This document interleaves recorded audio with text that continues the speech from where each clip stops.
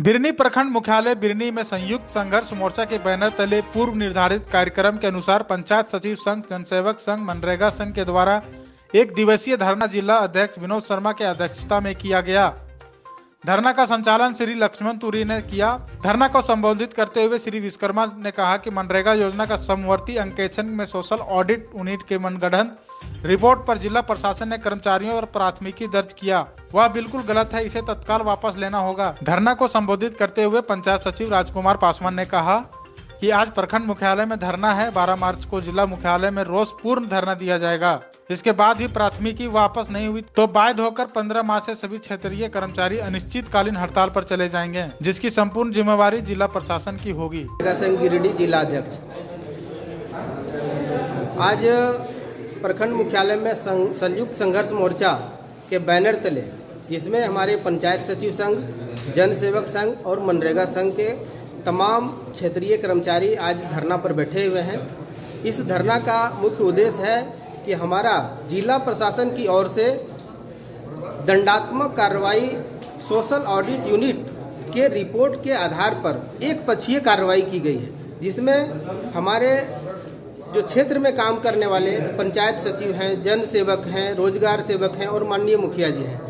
उन पर एफआईआर और मुकदमा जैसा कार्रवाई, वसूली का कार्रवाई जो किया गया है, इसकी हम लोग इस धरना के माध्यम से जिला प्रशासन की घोर निंदा करते हैं और मांग करते हैं। इस आप मीडिया चैनल के माध्यम से हम मांग करते हैं कि हमारे जो निर्दोष कर्मी पर, जिनका पक्ष भी जानने का प्रयास नहीं किया गया, भारतीय संविधान में हमारा, हमें अधिकार जो दिया गया है, किसी भी अगर आरोप भी है तो हमें अपना पक्ष रखने का मौका दिया जाना चाहिए स्पष्टीकरण का मौका दिया जाना चाहिए।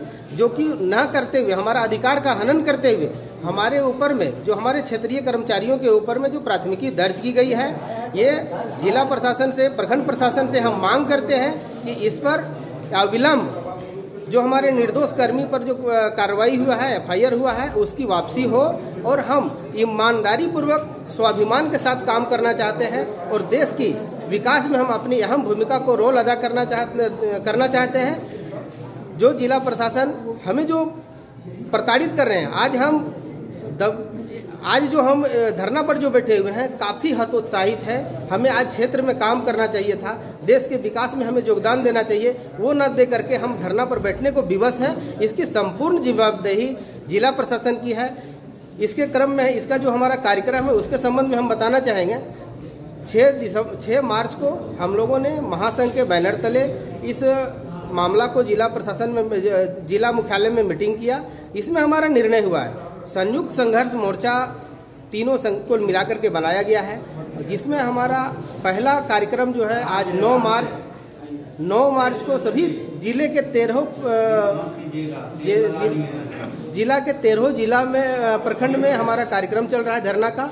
अगला कार्यक्रम हमारा 12 तारीख को जिला समाहरणालय में धरना का रोजपूर्ण धरने का कार्यक्रम है। और अगर 12 तारीख तक एफआईआर जो वापस नहीं होता है तो 15 मार्च से पूरे ज़िले के तमाम तीनों कर्मचारी संघ पंचायत सेवक जन सेवक और रोज़गार सेवक मनरेगा संघ कलम बंद हड़ताल करेंगे। इसकी संपूर्ण जिम्मेवारी जिला प्रशासन की होगी। जिला प्रशासन ने किन किन मुद्दों पर आरोप लगाया है?